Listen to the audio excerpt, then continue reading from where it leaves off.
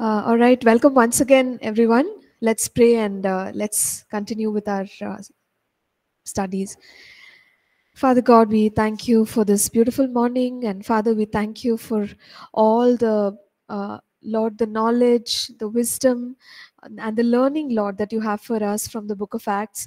Father God, even as we discuss uh, about Paul's second missionary journey, we pray, God, that uh, uh, you will help us, Father God, equip ourselves to serve you well. We thank you, Lord, for this opportunity. In Jesus' name we pray.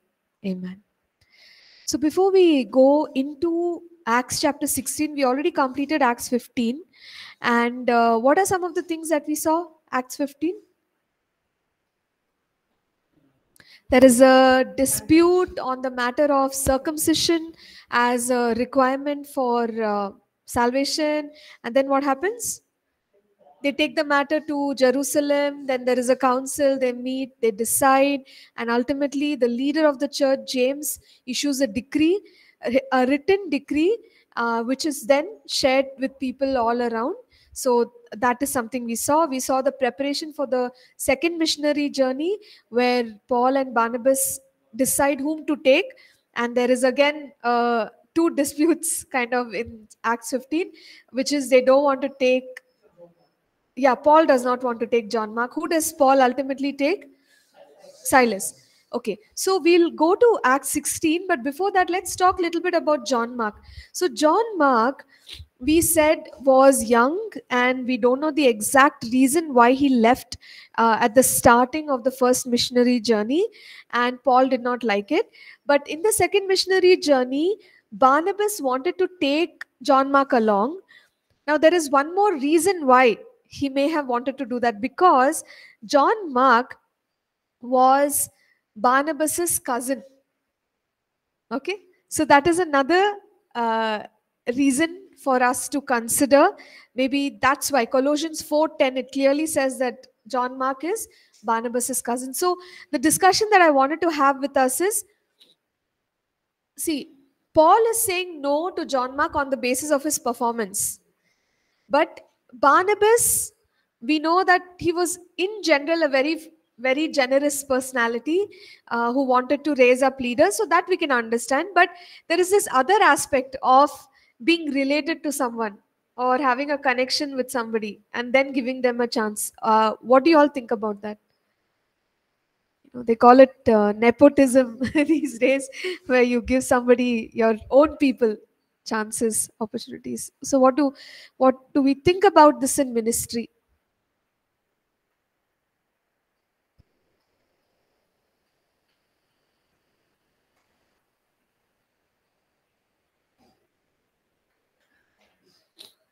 Personally i'll disagree with this because Okay. the reason is like okay coming to the ministry or taking the responsibility not upon the uh the relatives of that is depend upon the calling and the passion what the person have Mhm. to the ministry that's what i Okay, believe. sure. Thank you. Thanks, Francis. So it has to be the calling, it has to be the passion, not just because, you know, somebody is close to uh, us. I personally, uh, my opinion is like uh, we can give uh, opportunities, but we can't take like pull them in. Like if we if we see like they are interested, they can do it, Yeah. even if they are family members or someone close to us. If they have that ability, if we see that can do it, there's nothing wrong in giving them the chance. But if we see there's something they can't do, but if we take them because they are our relatives that's wrong Okay. So they should have the capability. So even if they are our relatives, but they have the capability, uh, you know, you feel like it's okay, right? Uh, however, see, in this case, Paul was quite clear about, as we said, performance. And he saw that John Mark didn't do. That's why he was upset and he did not want to give John Mark a chance. But Barnabas, uh, people could have easily said, Why is Barnabas taking him? Because uh, he's a cousin. Right. So, when there are others who are able to, and then we choose our close ones over the others, that won't be right, isn't it? So we have to pick the right person for the job, for the task, and uh, not just favor those whom we know. Um, so, like, even coming back to your thought, Prince, like, if people are um, capable, we can give them a chance, even if they are our relatives. I agree with you. But you see, uh, like, especially in the church setting, there are so many people. Okay, so before doing something like that, before giving our own relatives a chance, uh, we have to be very objective. Like, how many people are there who can do it or not? If nobody is able to do it and then we give our relatives it, we can justify that. But if that there are two other people who can do it, and we just want to give our relatives a chance to identify their capability, uh, our heart may be pure, but it goes down, uh, you know, in a unpleasant way with the other people. So this is all very tricky, actually. So we have to be so careful and uh, ensure that we don't uh, like there should be no dishonor to God's name. That's the point. So there are some comments here. Sister Chaya says God's calling is important. So, as Francis said, and Jackin is saying, in this case, Barnabas is led by the Spirit, so John Mark was able to make a difference in God's kingdom, not just because he was his relatives. Okay, fine. So, in the end, we can say that, isn't it, Jackin? But in the beginning, we don't know how many years it took for John Mark to prove himself. So, in the beginning, people may have complained to Barnabas that you're doing it because he's your relative. Yeah, Nina, something just wanted to add? Um, no, if because we are given uh, uh, Barnabas has given John Mark a chance, even though he he missed in the beginning, but he came to a place where he written the uh, Gospel of Mark. No, Yes. so if uh, Barnabas was not, uh, I mean, was not kind to him, he never come to the. Yeah, no, I agree. I completely agree. See, Barnabas is he is doing it as Jackin said, led by the Spirit. That's what she also feels. I agree, but I'm saying the situation is so. Um, only later we can say that. So at least for 20, 30 years, you can't say that because Mark has not proved himself. Everybody will say he's Barnabas' cousin. It turned out well at the end. Huh? So young? Yeah. Yeah, but others could have said, see, Barnabas, you want a ministry partner, you could have picked somebody from Jerusalem. Paul has taken someone like Silas, strong ministry partner. Why didn't you take? Why are you giving preferential treatment to John Mark when he's so young?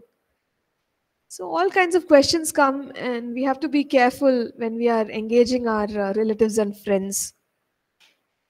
Okay, so that's a lesson from uh, Barnabas and John Mark. So, now let's go to Acts chapter 16. It's a very crucial chapter, uh, and Paul's second missionary journey accomplishes a lot uh, in terms of ministry.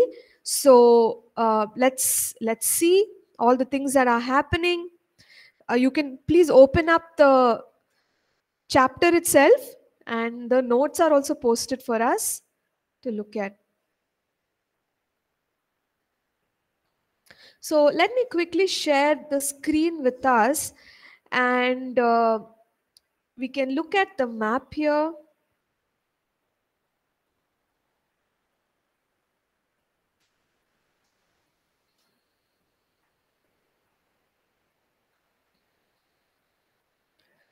So, this is Paul's second missionary journey. As you can see, we do have a mention of the earlier places, and then, of course, there are new places. Paul's second missionary journey was around three years long, AD 49 to AD 52. So, it's certainly longer. The first missionary journey, 46 to 48. Then they came back. They spent a long time in Antioch teaching the believers there.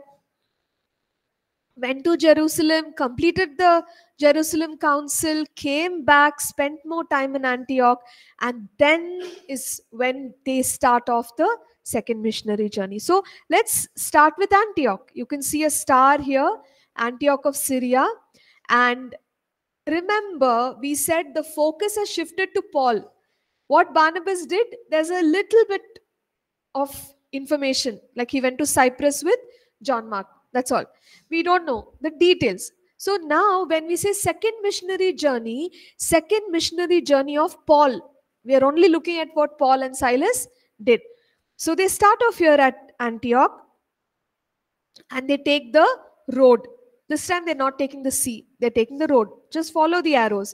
So they go uh, via the region of Cilicia. Remember Cilicia? What is the importance of Cilicia?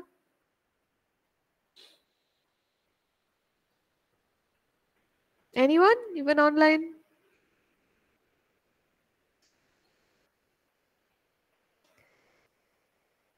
Very easy. Paul, wa- Paul was from there, right?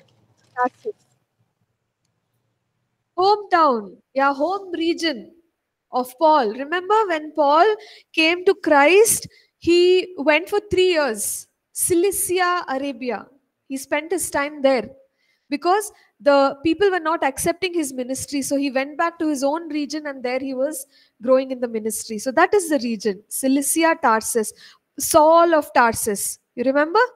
Yeah, so that's the importance of this region. Cilicia, Tarsus is present there, and Paul is from there.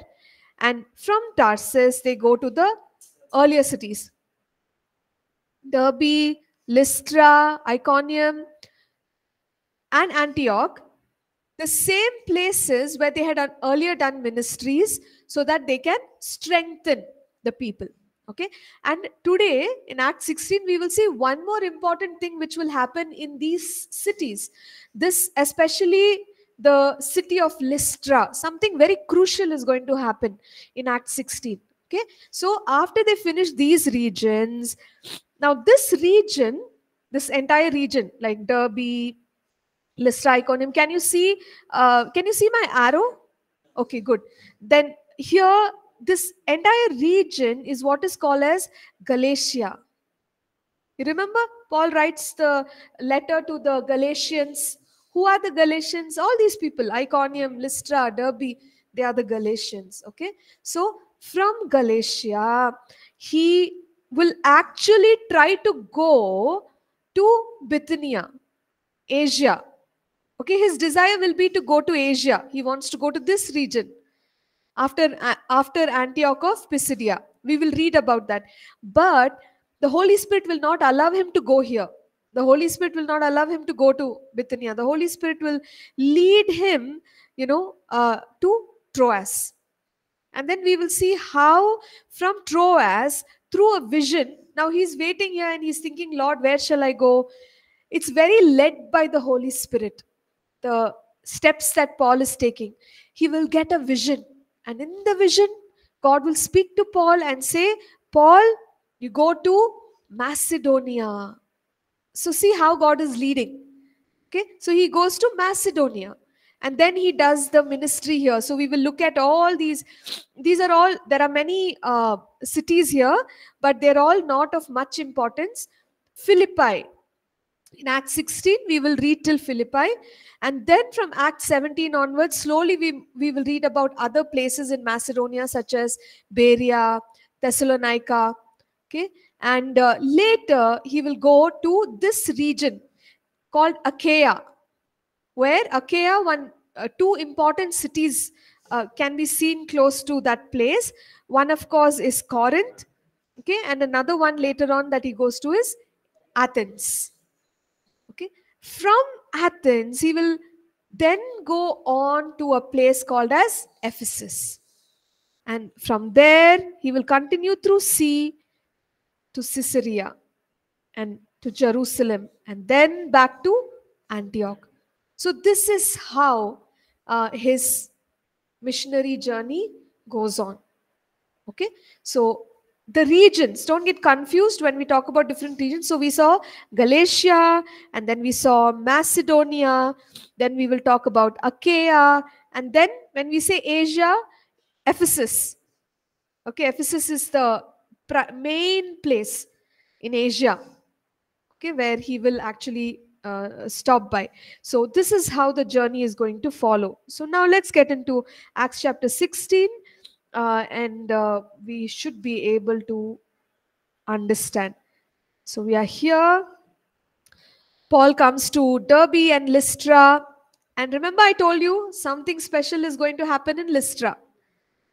What is that? Verse 1 says, Behold, a certain disciple was there named Timothy, the son of a certain Jewish woman who believed but his father was Greek. So Paul identifies a young man by the name of Timothy. What is so uh, different about him? He his parents are from two cultures. His father is Greek. His mother is Jewish. Okay. Now this person, Timothy, it is said he was well spoken of by the brethren who were in Lystra and Iconium. So, though he is a young man, you remember Act 6, where they say, look for uh, uh, people with good testimony, good report, you know, full of faith and the Holy Spirit. So, is Timothy a person like that? Good, good reputation, good testimony. Sorry. Good testimony? Yes or no? How do we say that?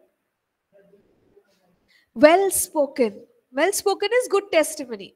So, when did Timothy become a believer?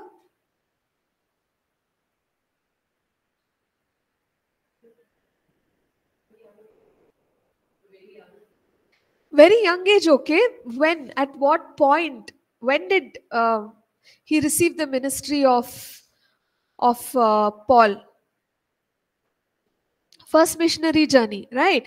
First missionary journey can we say see they are here in AD 49 so um, AD 40 oh, AD 48 about you know a year more than a year ago uh, he must have accepted Christ. When? Paul came there. Now when we read the letters that Paul writes to Timothy he says that the faith which was in your grandmother you know, uh, uh, Lois and your mother Eunice is now in you. So that means as a family, they have accepted Christ. So at that time, he would have accepted Christ. And in the gap, when Paul was back in Antioch, he has grown in his faith and he has grown well. That's why he's well spoken. He has a good testimony with the people. So it's so important to identify leaders who are committed. Paul could have taken any young man thinking, oh, we need young people on the journey. But he was careful to select somebody who later on he can groom uh, to be a pastor and a leader. So, someone with a good testimony. Also, why did he choose Timothy? There would have been so many young people who came to Christ in his earlier journey, right? When he came to Lystra. Why only Timothy? Why not other other boys? or uh, maybe even women, I don't know. Why did he select only Timothy? Yes, good report. That's true. Any other reason why he may have chosen only Timothy?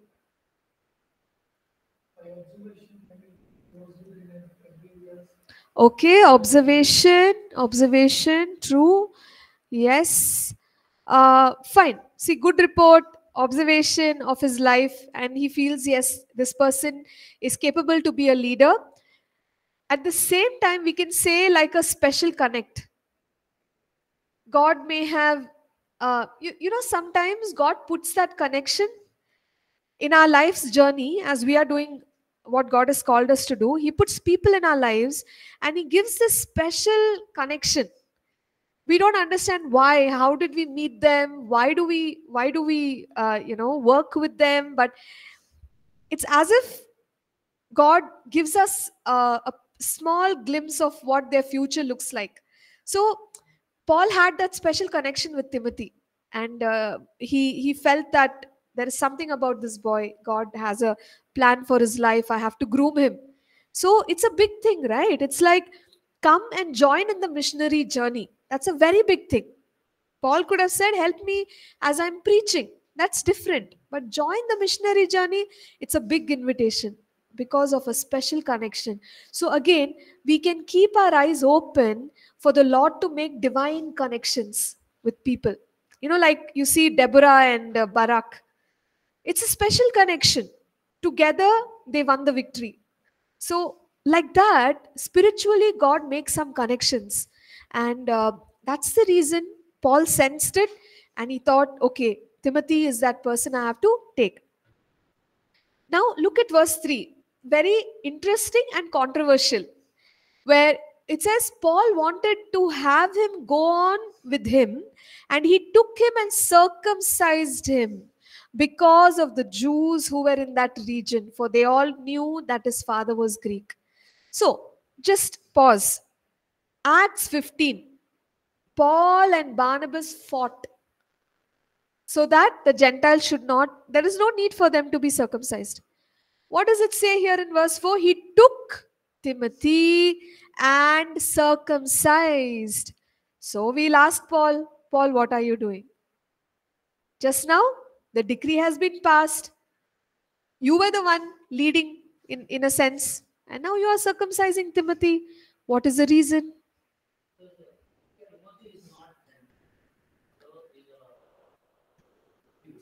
Right, but it's okay. No, Timothy is saved. He's born again. What did what did the church uh, leaders decree? You don't need to be circumcised for salvation. Settled. Matter is settled.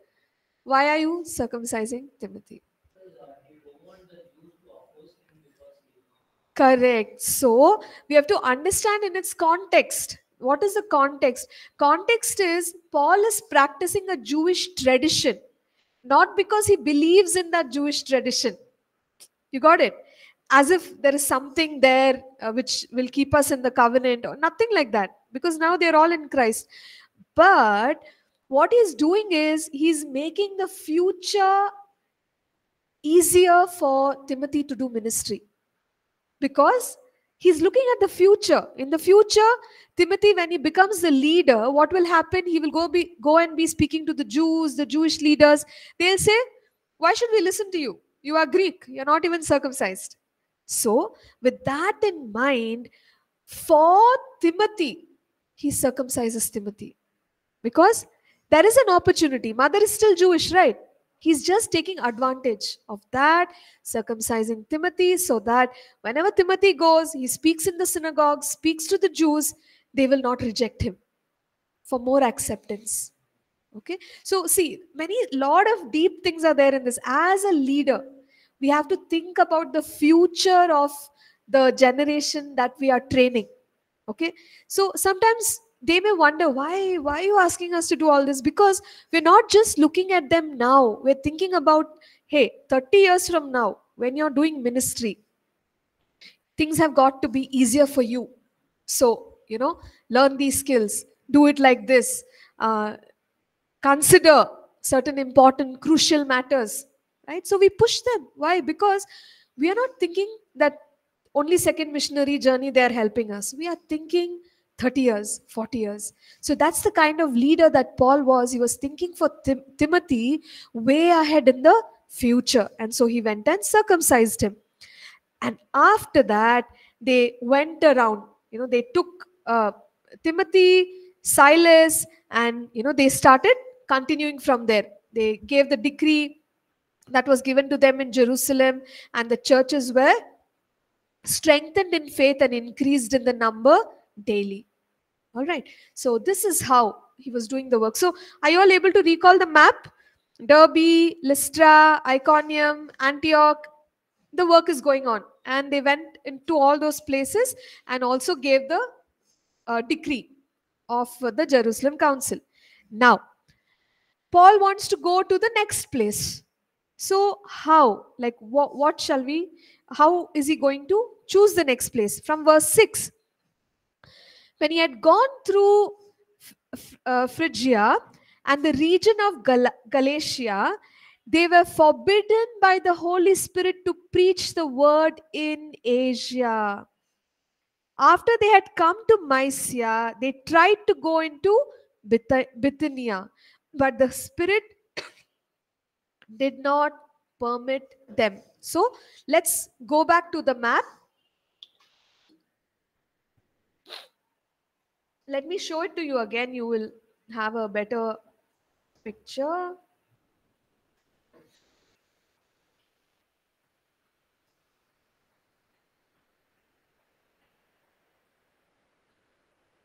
Yes, so we're back to the map here, and here what are we seeing? They want to go where? Want to go to Asia. They want to go to Asia, but Holy Spirit is leading them via Mysia. Okay, and they also want to go to Bithynia, but Holy Spirit is saying no. Can this happen? Like we want to do something, and Holy Spirit is saying no. Yes, but we have to listen. We have to be sensitive. Okay. Uh, why do you think Holy Spirit is saying no? It's a good thing, no? To go everywhere, preach the gospel. Yes. Correct. It may not be the time, right time. Maybe the people are not ready. We don't know the circumstances in those places. What if Paul and team would have gone there and in the beginning itself they got into trouble? It could have happened. So the Holy Spirit leads us knowing everything. We have to listen to Him. So thank God, even though there are desires, Paul has desires. I want to do this, I want to do that. He's still listening to the Holy Spirit, and Holy Spirit is guiding. Holy Spirit saying, No, you can't go there now. Um, you know, you you just wait upon me. So that is what is going on right now. So let's see what else we can understand from this passage. So, Holy Spirit did not permit them. So, verse 8 so passing by Mysia, they came down to Troas. Okay, you can see the city there, Troas. Yeah, so they are following the leading of the Holy Spirit and they came here. This is Troas. And here they are. Now, let's see what the Holy Spirit is going to tell them. And a vision appeared to Paul in the night. You remember the way God speaks vision. Ananias got a vision. Uh, an angel spoke, you know, uh, to, con- to Philip. In different ways, there's a vision, there's a dream, the angel speaks, you get a receive a prompting of the Lord. In this case, there is a vision to Paul. And in the vision of the night, he sees a man, a Macedonian man who pleaded with him and he said, Come over to Macedonia and help us. So Paul understood that this is from the Lord. What is God saying? God is saying, Paul, the right place to go for ministry now is Macedonia. So we can hear from the Holy Spirit to continue in our ministry work. So from Troas, where does he go? He goes across the Aegean Sea to this region called as Macedonia because that's where the Holy Spirit is calling him now. So here they come to Macedonia. Verse 10. Um, he immediately sought to go to Macedonia, concluding that the Lord had called them to preach the gospel okay, in the region of Macedonia. So they come to Macedonia, and then there are the mention men- uh, mention of different cities there. They reach the port town of Neapolis, and from there they go to a city called Philippi. Can you see the city, Philippi? Neapolis, eh, they just make a stop there and they go to this city, Philippi. Now, in this city of Philippi is where a lot of ministry is going to take place. Now, why is this an important city? It's an important city because it, it was named after the grandson of Alexander the Great. Okay, and there were uh, like veteran, uh, you know, like Roman Roman people uh, with high influence staying there in Philippi. So there were many people with Roman citizenship in this uh, city of Philippi. So it's a it's a very um, eh, respected town or respected city. And also, you will notice that you know in modern day Europe. So what happened? He went from from this place into uh, the region of Greece, which is Europe. It's today's Europe, right? It's the first city in Europe where Paul did his ministry, Philippi. So it's a, a it's it's a fairly uh, good recognized city, and we will also see that one of the main people that he is going to minister to in the city of Philippi is a woman, a businesswoman by the name of anyone knows Lydia. Yeah, Lydia. So that's the first person who um, kind of you know he she listens to the gospel and uh, she uh, follows Christ. So they come to this place called as Philippi, and verse 13 says, Sabbath day they went out of the city to the river side where prayer was customarily made, and we sat down and spoke to the women who met there. So remember, they always used to go where before? First place, synagogue. Okay, so seems like the river side. This is a Greek, uh, you know, Greek culture. So we don't know why they picked the riverside. Maybe they heard that you know people will be available at the riverside. Uh, it could have been the marketplace over there, but prayer was also being held there. So wherever the people are, they go there. They go to the riverside, and then they spoke to the women who met them.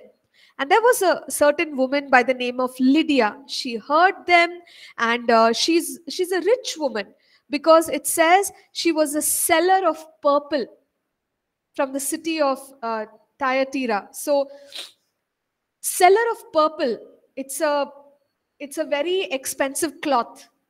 Okay, so not just at that time, even for many many more decades, the purple cloth was considered very expensive. So, if this woman is selling it, she's very rich.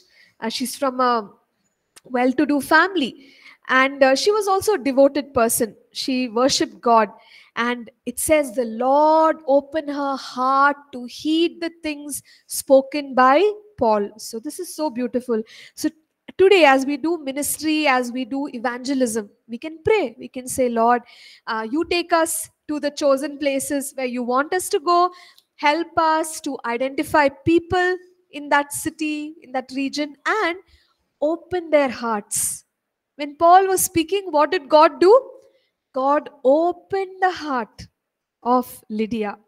So we can pray and say, Lord, you open hearts so that many lives will be uh, committed to you. So that's the way in which Lydia came to Christ in the city of Philippi. First, you could say European city, and first believer in that European city, this lady by the name of Lydia. And uh, when she and her household were baptized, Remember the pattern? Preach the gospel. Once they believe, water baptism, Holy Spirit baptism, equip them as disciples. So they're doing the same thing wherever they go. So now she's water baptized, and she is uh, she is a hospitable woman. That's another nice thing about her. So she's devoted to God. She's also a woman of hospitality. She's begging them.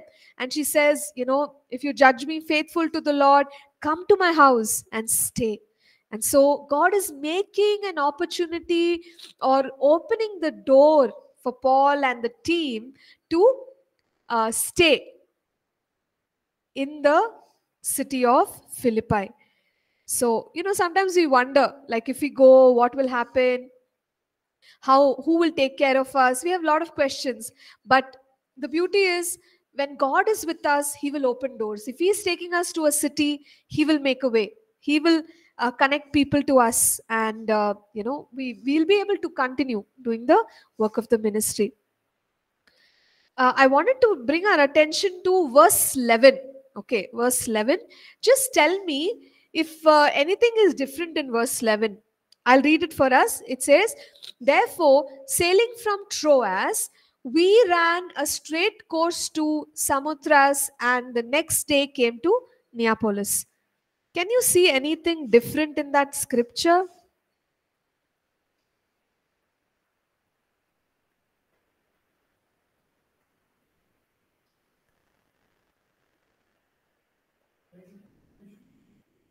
Uh, no, they're traveling, so they have mentioned the places. But anything slightly different which you can make out? Huh? How sea? Uh, okay, is it sea route that they are mentioning?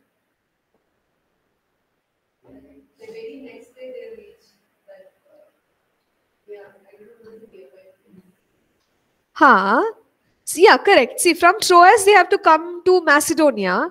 So they sailed and uh, they went to Samothrace. Next day, they came to Neapolis. So it's just telling us the direction that they took.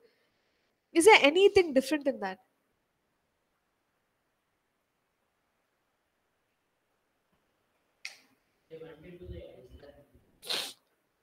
Uh, yeah, they came to Macedonia. If you want to call that, it's, it's not an island. Okay, how about the focus is uh, sailing from Troas? We ran a straight course. We ran a straight course. Okay, just straight, and even Jackin is saying uh, just a straight course. Okay, why is the text saying we? They were traveling by land Paul, otherwise. Silas, Timothy.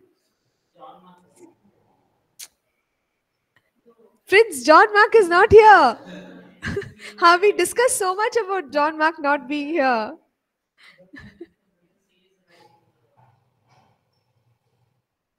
Mhm. No, no, no. John Mark is not there. So why does it say we? Think little bit. Okay, Nina says they were traveling by road otherwise. Um, uh, yeah, so they took the course as as they did, uh, Nina. But my focus is on we. Who wrote the book of Acts? Very good. Luke. So when he is changing till before this, uh, he says, you know, and they they came to Mysia, they tried to go into Bithynia, but the Spirit did not. Verse 11, suddenly he's he's shifting, he's saying, from Troas, we ran a straight. So who is there with them? Yeah, so there are four members. So you have to pay attention to the text. So suddenly he switched to we. That means that now four people are journeying together. So in Philippi, there are four people. Okay, small little things, but unless we pay attention, we will never register. So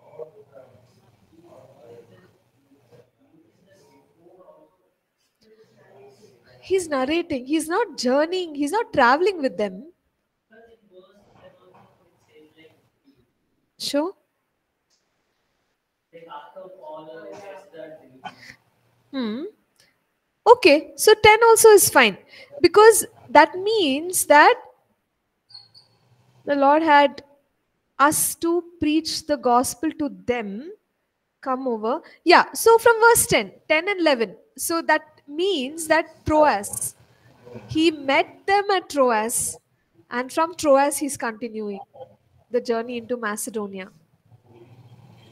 You're right, uh, Prince. So from Troas, he's with them. But the main thing is that we must consider Luke is there. Yeah. Okay, great. So, yes. So now Luke also has joined the team and they are doing their work. Philippi, we've already said it had many inhabitants with uh, uh, the privilege of the Roman citizenship. There were veterans of the Roman legions who were settled there. And uh, in such a city, God opened up the heart of Lydia. And this is how the missionary work in Macedonia. Let's uh, now continue with what's happening in Philippi. So I'll quickly share one incident. After that, we will pick it up in the next class. So, first thing was Lydia has committed her life to Christ. And the next thing that happens in Philippi is there is a slave girl uh, who has a spirit of divination or divination. And this girl, she is able to tell the future. But what is the problem? There is a wrong spirit. So, prophecy is a gift from God, we know. The Bible promises the believer operating out of the Holy Spirit that we can prop- prophesy, but that's from the right spirit, the Holy Spirit. This girl was doing fortune telling by the wrong spirit, and that's the spirit of divination. Paul notices this, and this uh, girl, she is making money for her masters. Every time she tells someone's uh, future, they are earning money. In such a situation, when she sees Paul and the team doing ministry, she she starts, uh, you know, telling about them that they are God's people. You know, listen to them. These are the servants of the Most High who proclaim to us the way of salvation. But he, she is saying the right thing. But Paul, with the spirit of discernment, understands that this is an evil spirit. So what he does is he casts out the demon. Then the consequences are that she's no longer able to prophesy or you know through the evil spirit He's- she's no longer able to um what can we say Mm, do her fortune telling okay? So it is a loss for the masters and therefore they get angry. They become so angry that they complain they they bring them to the magistrates and they say these men these jews they are troubling our city and they teach customs which are not lawful for us being romans to receive or observe. So they make a complaint to the magistrates. And we will see that paul and silas get imprisoned. So that's what is going to happen. So good ministry is going on in one place but at the same time trouble has started in the city of philippi. So we will study about all that they go through in the next class all right so let me just stop here and um, you know I apologize for saying prophecy. It was not prophecy. We won't use the word prophecy for what this girl is doing. Fortune telling by the spirit of divination. Um, so any thoughts before we close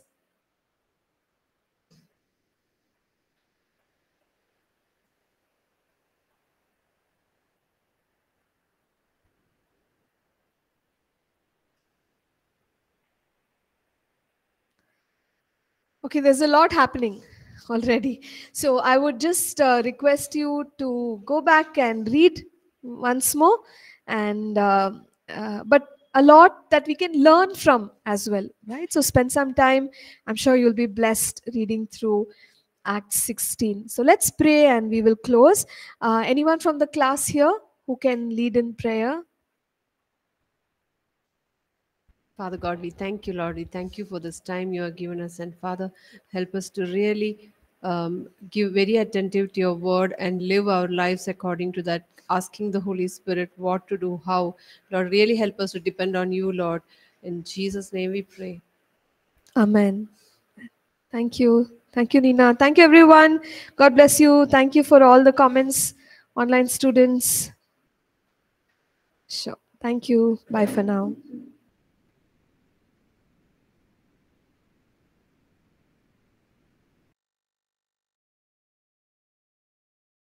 We can.